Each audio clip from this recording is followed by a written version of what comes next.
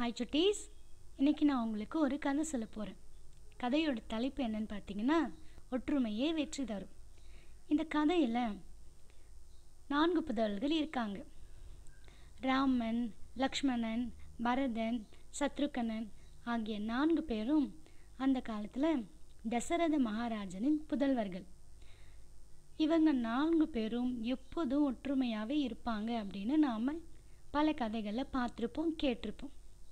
அதே மாதிரி ஒரு ஊரில் ஏகாம்பரம் என்னும் வணிகர் வாழ்ந்து வந்தார். அவருக்கும் இவர்களைப் போலவே நான்கு மகன்கள் இருந்தாங்க. மூத்த பையன் பேர் நந்து. இரண்டாவது பையன் மாதவன். மூன்றாவது பையன் கேசவன். கடைசி பையன் சீவகன்.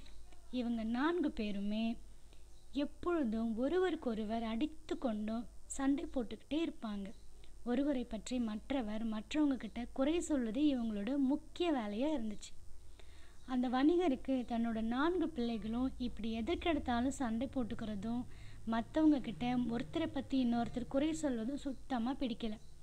நம்மளோட மகன்கள் இப்படியே இருந்துருவாங்களோ அப்படின்னு அவருக்கு ஒரு பயம் வந்துருச்சு. எத்தனையோ முறை அவங்க பை மகன்கள்கிட்ட ஒற்றுமையாக இருங்க சண்டை போட்டுக்காதீங்க அப்படின்னு அடிக்கடி சொல்லி பார்த்தாரு. ஆனாலும் நான்கு மகன்களில் ஒருவர் கூட அப்பாவோட பேச்சு கேட்கறதாவே தெரியல.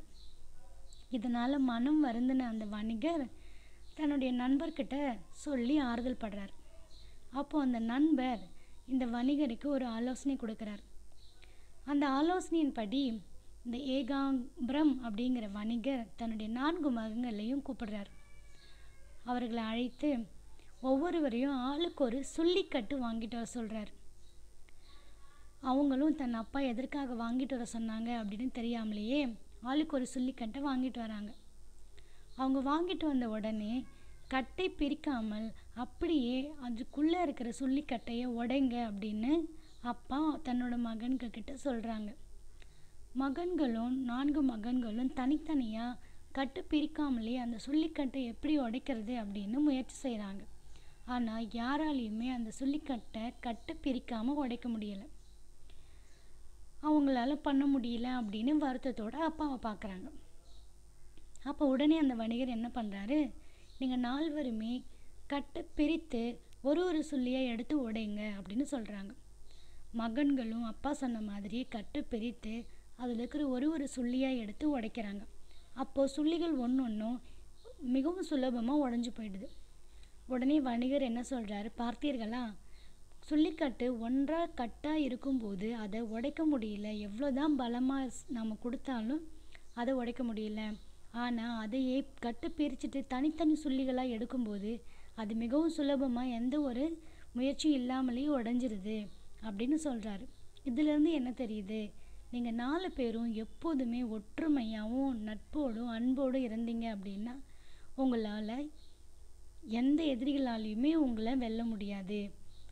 அது இல்லாமல் எப்போ பார்த்தாலும் நீங்கள் சண்டை போட்டுக்கிட்டு இருந்தீங்க அப்படின்னா எதிரிகள் மிகவும் சுலபமாக உங்களை வெற்றி கண்டுருவாங்க உங்களை ஏமாத்திடுவாங்க அப்படின்னு தன்னுடைய மகன்களுக்கு புரிய வைக்கிறாரு. நீங்கள் நால்வரும் ஒற்றுமையாக இருந்தீங்க அப்படின்னா உங்களோட ஒற்றுமையையே எதிரிகள் பார்த்து பயப்படுவாங்க அப்படின்னு சொல்கிறார் அதே சமயம் தப்பி தவறி கூட உங்களுக்குள்ள வேறு யாராவது சண்டையை மூட்டி விட முயற்சி செய்தாலோ அதுக்கேற்றபடி நீங்கள் நடந்துக்கிட்டீங்களாலோ உங்களை எதிரிகள் ஈஸியாகவே தோற்கடிச்சிருவாங்க அப்படின்னு அவங்களுக்கு அறிவுரையும் கூறுறார். இதிலிருந்து அந்த நான்கு சகோதரர்களும் தங்களுடைய தந்தை ஒரு சொல்லிக்கட்டை வச்சுக்கிட்டு ஒற்றுமையாக இருக்கிறத எப்படி உணர்த்தியிருக்கிறாரு அப்படின்னு வியப்பாக பார்க்குறாங்க அதே சமயம் இனி நாங்கள் நால்வரும் எப்போதுமே ஒற்றுமையாக இருப்போம் சண்டை போட்டுக்க மாட்டோம் நட்போடையும் அன்போடையும் சகோதரத்துவத்தோடையும் இருப்போம் அப்படின்னு அவங்களோட அப்பாவுக்கு வாக்கு கொடுக்குறாங்க. ஓகே குழந்தைகளே இந்த கதை உங்களுக்கு பிடிச்சிருக்குன்னு நினைக்கிறேன். இந்த கதையில் வர மாதிரியே நாம்ளும் யாரோடவும் எந்த காரணத்துக்காகவும் சண்டை போடக்கூடாது. எப்போதும் அன்பாகவும் நட்போடவும் சகோதரத்துவத்தோடவும் மற்றவங்களோட பழகணும். இந்த வீடியோ உங்களுக்கு பிடிச்சிருக்குன்னு நினைக்கிறேன்.